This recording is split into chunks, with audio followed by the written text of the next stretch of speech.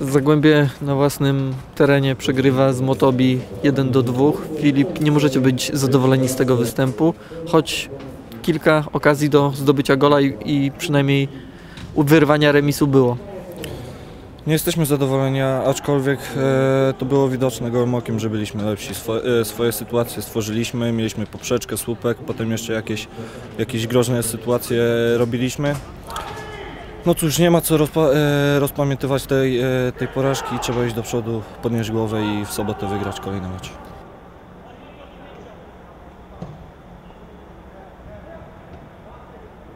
Filip, skoro byliście lepsi, to z czego wynika to, że punkty wyjeżdżają z Lubina dzisiaj?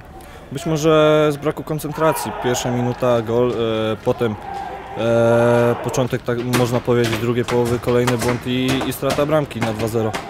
E, robiliśmy co mogliśmy. Graliśmy dobrze piłką, szybko. E, swoje sytuacje, tak jak mówiłem, mieliśmy. No, szczęścia też brakowało poniekąd i z tego wynika nasza porażka.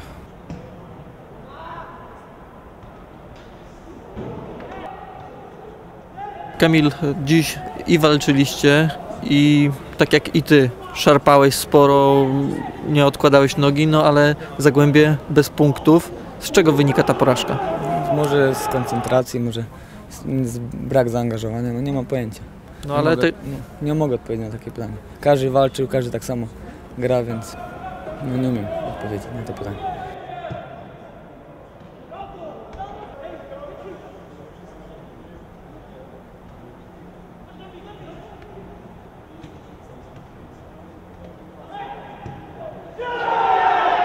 Może też i trochę złe decyzje. Biegasz w pole karne i brakuje strzału. No, brak koncentracji myślę, że widziałem, że schodzi na prawą stronę, to zszedłem na lewą.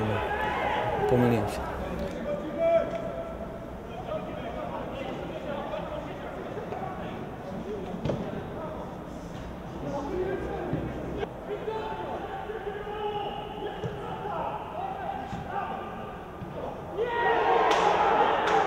Jak ta porażka działa na wasze głowy? No bo chyba przed meczem byliście pewni, że, że punkty zostaną w Lubinie. Też tak myśleliśmy, no, ale no, potem mecz, mecz potoczył się inaczej. No. No Co? Czy jakichś pozytywów można się doszukiwać po takim meczu? Wyciągniecie jakieś wnioski, które będą przekładały się na postawę w następnym meczu? Nie tak, no ale co mam powiedzieć więcej. No, będziemy walczyć, będziemy trenować, walczyć o każdą piłkę i myślę, że zostanie chociaż na drugie miejsce.